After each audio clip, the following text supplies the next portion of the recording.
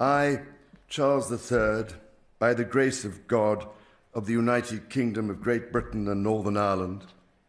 and of my other realms and territories, King, Defender of the Faith,